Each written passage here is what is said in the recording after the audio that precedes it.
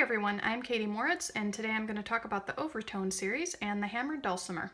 The overtone series is a universal acoustic phenomenon. Overtones occur when a resonant object, such as a guitar string, is plucked, or when air moves through a resonant tunnel, such as when a flute is being played. It even occurs with the wind when it's whistling outside your house through the trees. And it occurs anytime you hit a string on your hammered dulcimer. For this demonstration, I'm just going to be talking about one string. I'm going to call this one a G. The G I want to represent is going to be this low G here, just for the sake of fitting everything on the staff. Your lowest G on your hammer dulcimer might be an octave above that, but the series will still apply. When you hit this string with a hammer, it's going to begin to vibrate. This vibration of the entire string length is going to produce the fundamental note. G is our fundamental note.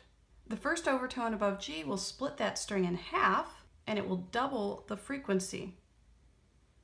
So each of these are producing a frequency that is double that of the fundamental. That note will be one octave higher, another G. The next overtone in the series is going to split that string length into three. So this takes that fundamental frequency and multiplies it by 3. That gives you a fifth, which is a D. The next overtone is going to split that vibrating string into four sections. So that original fundamental frequency is multiplied by 4, and that gives us another octave, which is a G. You can do some research on the entire overtone series, but I'm going to stop here at this next one, which divides my vibrating string length by 5 that multiplies my fundamental frequency by 5 and gives me a B. So I have a fundamental low G. My first overtone is one octave above that. My second overtone is the fifth above that. My third overtone is yet another octave. And then my fourth overtone is a major third above that. This is the case for any string on your hammered dulcimer. So if we were to change this to a D, our series would look like this. Our fundamental note would be a D. The next note would be an octave above D. The next note would be a fifth above that, which is an A. The next note would be another octave. And then the next note would be a third above that. So what's a third above a D? F sharp. So you can figure the overtones to any note this way. And obviously this doesn't stop here. It's gonna just continue on until whenever. The intensity of these overtones is what produces the timbre of an instrument. I'm gonna go to my instrument to finish up this demonstration. All right, what we're looking at here, the lowest marked note on my bass bridge is a G. This doesn't necessarily correspond with the same octave that I was using in that illustration, but the same rules are gonna apply. So we know that when I pluck or hit this string, I'm gonna get that series of overtones. An octave, the fifth above that, the next octave, the third above that, and so on and so forth. Much like a guitar or a mountain dulcimer, you can actually pull out the harmonics of one string. It's just a little bit harder because we don't have frets to tell us where to go. Now I'm not very good at this, but if you practice, you could probably get pretty good and incorporate this technique into some of the music that you play. But we talked about cutting that string in half to get the octave. So you have to find that midpoint on your string. I think mine's somewhere around here. That's an octave. There's that fifth. There's that next octave. There's that third. That one came out nice. There's that next fifth. We didn't talk about this, but that's what comes next. Yeah, I got a little bit of two of them in there, but hopefully you were able to hear that. Try that out, it's fun. So all of those overtones are coming into play when I strike this note. The notes on my instrument that correspond with those are the octave, the fifth, the next octave, the third. When I hit this string and mute it right away, listen to what happens.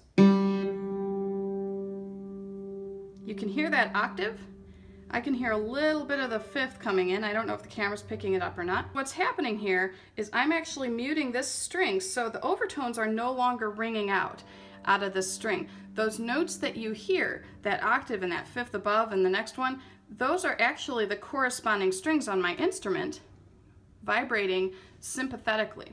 All of the strings on your instrument are going to vibrate when you hit a note, but the strings that correspond with the notes in the overtone series of the one that you just hit are going to vibrate even more. They're really going to ring out.